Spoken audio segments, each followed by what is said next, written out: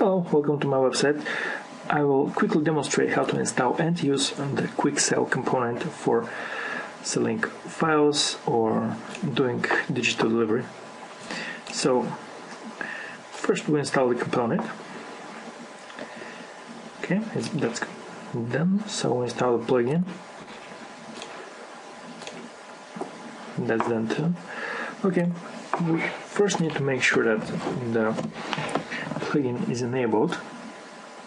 So the buttons will appear. We'll go to the QuickSell component global configuration. By default it's configured to one of uh, this is a sample test account for PayPal where we can make um, test transactions etc it's in sandbox mode. We have email delivered enabled. We don't require registration. We have not enabled tax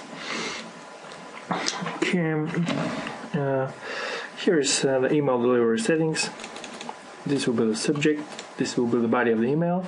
And as an attachment the user will receive the file that he ordered.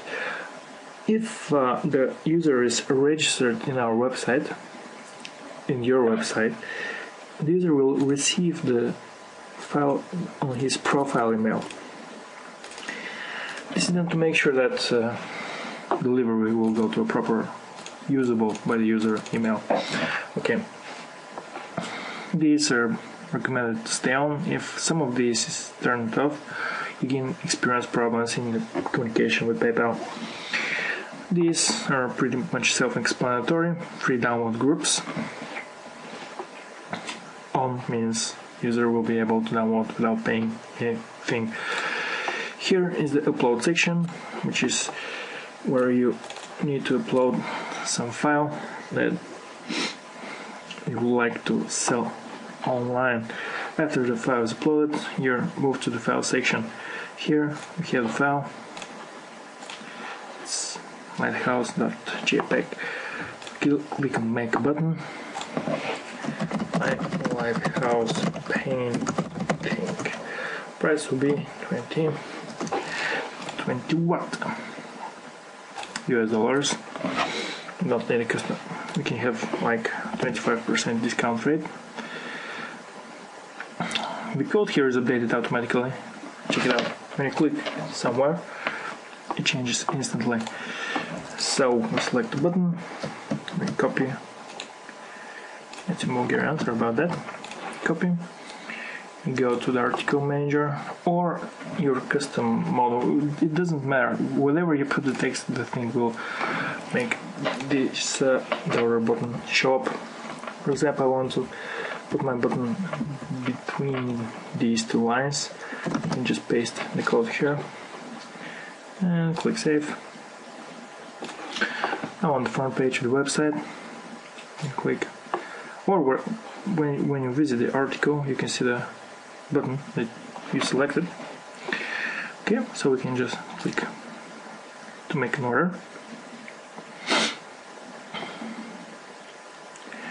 Okay, so it's twenty dollars. We have the discount twenty five percent, which is five dollars. Item total fifteen dollars. Okay, so we make the test order.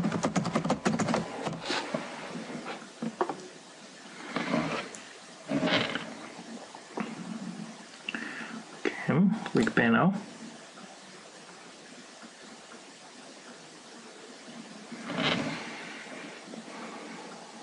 And we get the click here to return to your download page. Once clicked, PayPal starts the redirection process. It will now inform us that we've made a payment and if we're not redirected, click here Okay, so we're back on the article, but instead of the buy now button, we have a download link, which works. In the demonstration, we have a download limit of 3. So here's the second successful download, third successful download. Now, the fourth attempt will end up with a 403 message. Sorry, you've reached the maximum amount to download for this order. I need to purchase the file again, so the user will be able to download again. As you can see, we did the whole thing without making a registration.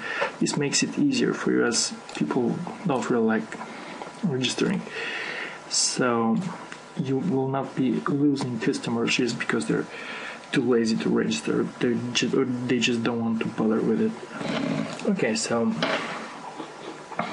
here we can close the article and with our extension QuickSell. And we have the orders here, and we have user zero. That's a one.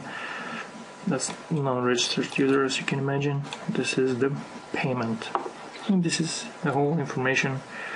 If you unpublish this order, the user will not be able to download. This is uh, an option so you can stop someone from accessing the download for some reason if needed. The help section will send you to my website where you can ask questions and we can guarantee that you will receive a response in 12 to 24 hours maximum. Okay, so that's pretty much how the extension works. Thank you for your time and if you have more questions, please get back to me. Thanks.